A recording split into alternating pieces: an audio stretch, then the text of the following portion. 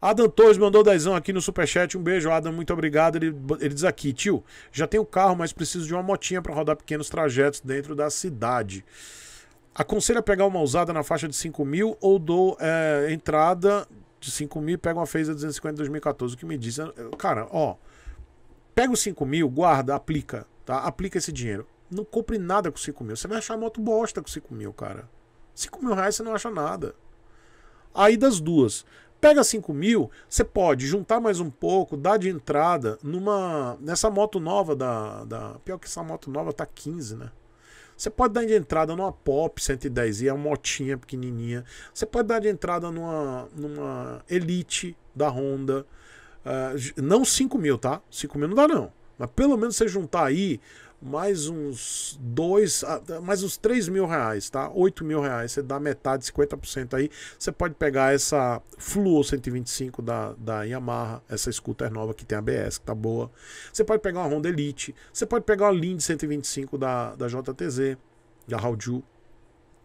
Tá? Você pode pegar uma Pop 110i, Todos são motinhas, são motos pequenininhas, são motos muito econômicas. Então você junta mais 3 mil reais, aí você dá metade. Mas não financie moto usada, cara, porque os juros é pior do que de uma moto zero. Entendeu? Os juros de moto usada é pior do que de moto zero quilômetro. Aí, por que, tio Chico, que os juros de uma moto usada é maior do que os juros de uma moto zero? Porque para o banco que vai te emprestar esse dinheiro, o risco é maior dessa moto quebrar, dar problema e de você simplesmente deixar de pagar. Porque a moto quebrou, porque a moto já é usada. A moto já, já tem pode ter problemas. Então, diferente de uma moto zero, que o banco deduz que não vai dar problema com você. Entendeu? Então é risco. O banco, quando ele empresta dinheiro, ele calcula riscos de você não pagar. Então por isso que o nosso crédito é tão caro. Porque tem isso também, são os riscos para o banco. Então, no caso de um veículo usado, qualquer veículo, tá, galera?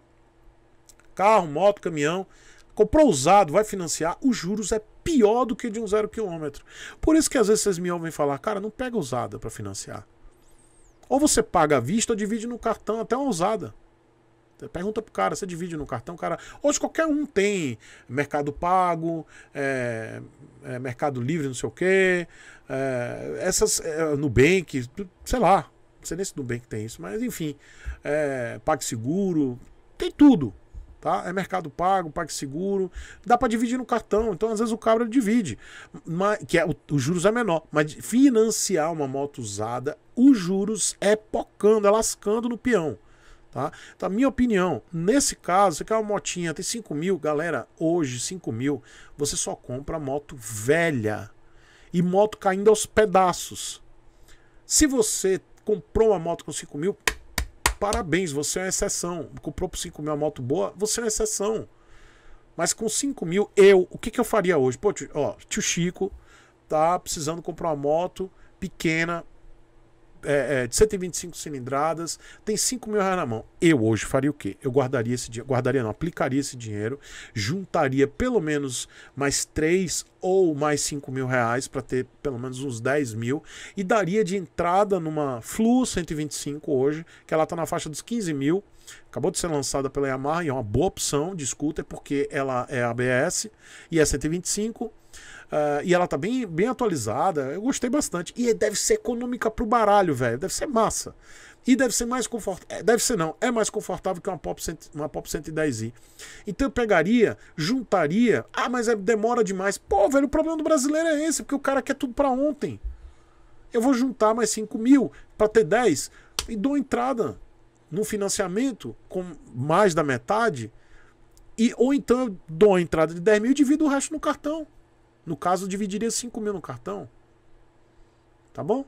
Aí depende de quanto é que você pode juntar. Mas a minha opção é essa. Eu faria isso, eu estou dando a minha experiência. Tá? Cada um faz o que quer. É minha experiência e minha sugestão.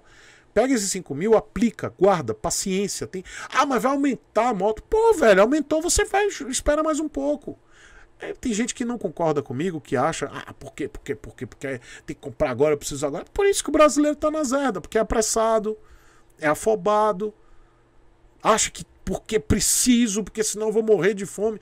Cara, você vai se lascar se você entrar no financiamento pegando a moto velha usada e, e pagando juros abusivos. porque a moto vai quebrar. E aí? Você vai pegar uma moto 2014, dando exemplo aí do querido Adam. Vai pegar uma moto 2014. Você vai ter que trocar pneu, vai ter que fazer revisão. Só comprando a moto, tá? Só no, no ato de comprar você vai ter que fazer uma revisão na moto. Isso aí é lei. Tá? Você vai comprar uma moto 2014 sem levar para revisão. Revisão. No, por baixo aí, eu vou botar um valor bem chulé mesmo de revisão, 200 conto mão de obra. Você vai ter que trocar óleo, pastilha de freio. E eu não vou deduzir que o cara vai lhe entregar a moto com pastilha de freio ok, tá? Óleo, fluidos, né?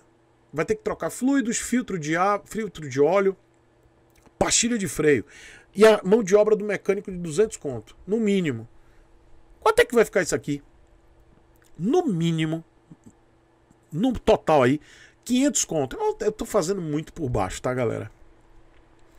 500 conto aí só nessa brincadeira. Tá? Aí você já vai pagar a documentação, tudo mais. Os 5 mil que você vai dar de entrada, cara, isso vai ficar uma loucura, velho. Fora a prestação que você vai pagar, vai ficar alto o valor. Não vale a pena. E às vezes você vai pegar uma moto 2014 que o pneu tá todo lascado. Você vai ter que trocar pneu também. Aí, vamos lá, eu não estou fazendo política de só comprar moto zero. Mas se ele tivesse mais dinheiro, por exemplo, se você tivesse, Adam, uh, ah, para comprar uma 2014, se você tivesse 15 mil reais, pô, se você tivesse 15 mil reais, você pegaria uma Phaser 250 2014. Você pegaria aí uns 15 mil, talvez um pouco menos, você conseguiria até pegar, tá? Aí você paga à vista, show de bola. Mas no caso, você está precisando de uma moto mais econômica, tá? Eu iria é, nem, e você falou Pop 110 zero. Eu iria de Fluo, cara. Fluo 125. Eu sei que é mais cara. É, em torno de 3. Uh, 4, 3 mil reais mais cara. Porque hoje Pop 110, é, 110 está sendo vendido a 11 mil, quase 12 em alguns lugares, tá? Não tá mais 10. Então eu iria numa Fluo 125. E aí eu juntaria mais dinheiro, tá? Para pegar uh, uma moto mais nova. Entendeu? Pegaria. E aí você acaba ele, ele complementou aqui. Deixa eu só ver aqui a, o, a complementação dele.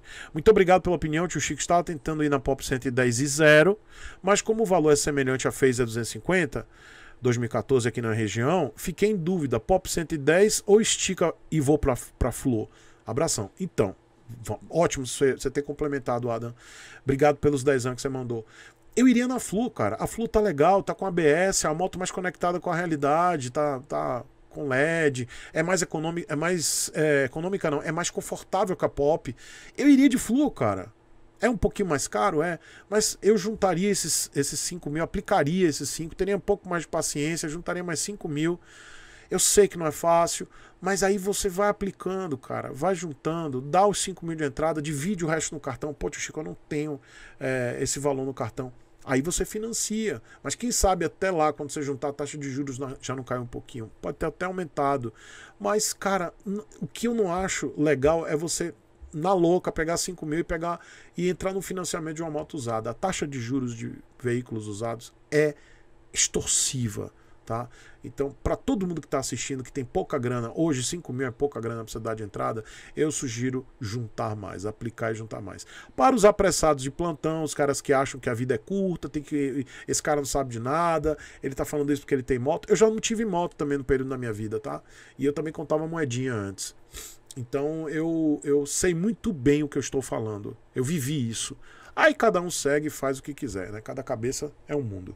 Mas eu tô dando as minhas experiências, pelo fato de eu ser mais experiente, já ter quebrado a cara, eu já fiz tudo quanto é zerda, já comprei veículo sem entrada, quebrei a cara, é, já fiz financiamento, já quebrei a cara, já fiz consórcio, quebrei a cara. Então são, são vivências que eu tive e eu tô tentando passar aqui para vocês, para vocês não caírem nas mesmas arapucas que eu caí. Mas cada um faz o que quer, entendeu? Então, Adam, tenta juntar a grana, aplica esse dinheiro, vai juntando para você ter no mínimo mais 50% de entrada para pegar um veículo zero. Um beijo. Ou, quem sabe, se você juntar aí para dar vista no veículo usado. E essa aqui é uma singela homenagem e agradecimento a todos os apoiadores e membros deste que é o pior canal do YouTube. Pessoal, muito obrigado. O nome de todo mundo está aparecendo aqui agora e vai aparecer no final de todos os vídeos desse canal aqui. E se você gosta do conteúdo, quiser se tornar um membro ou apoiador, mas principalmente um apoiador, vai lá no apoia.se barra Chico Sepúlveda. E se você quiser se tornar um membro, toca aqui nesse botão embaixo, seja membro. Muito obrigado.